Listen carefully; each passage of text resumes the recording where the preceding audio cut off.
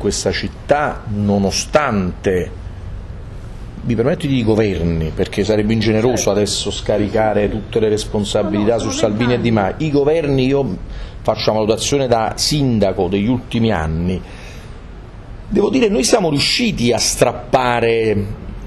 la conquista di alcuni diritti grazie ad alcune battaglie, penso per esempio per le vele, dove grazie alla nostra credibilità il governo dell'epoca finanziò il bando sulle periferie. Però mi pare di cogliere la domanda se noi abbiamo mai visto una strategia complessiva dei governi su questo, direi assolutamente di no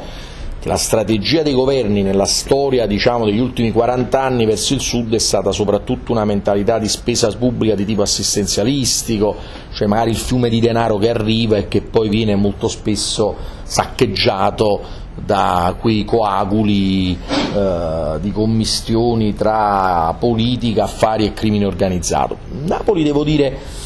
che in questi anni ha tenuto anche sulle politiche educative, sociali e di sviluppo del territorio, però voi sapete perfettamente, perché ne abbiamo parlato spesso, che anche nell'ultimo bilancio di previsione poter mantenere la quota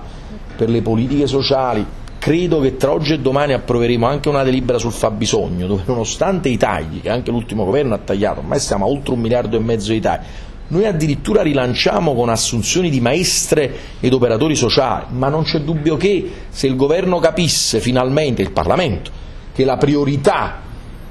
del Paese in queste tematiche soprattutto è quello di investire sui maestri di strada, gli educatori, le politiche di sviluppo, di investimento, eccetera, ma è chiaro che il salto di qualità ma a Napoli come altrove potrebbe essere molto molto più rapido, proprio per questo prima dicevo che tutto quello che vedete è tutto autoctono, sia l'energia culturale, l'energia popolare, lo sviluppo, il lavoro, l'economia, ma finanche la reazione investigativa che c'è stata e la reazione diciamo, sui termini della sicurezza c'è stata nonostante da parte dei governi degli ultimi anni una serie di promesse, perché sono le promesse dei rinforzi le ho sentite fare da Salvini sicuramente, e la polemica chiaramente è più fresca farla oggi, tra virgolette, la polemica con Salvini, ma vale per Minniti, vale per, per Alfano, io ricordo che insomma, più o meno la storiella è stata un po' sempre la stessa. Adesso vediamo, giovedì mi pare di capire, noi non abbiamo avuto ancora comunicazione ufficiale, ma l'ho letta, quindi ci sarà il comitato, un comitato sicuramente importante, noi i comitati li facciamo ogni settimana,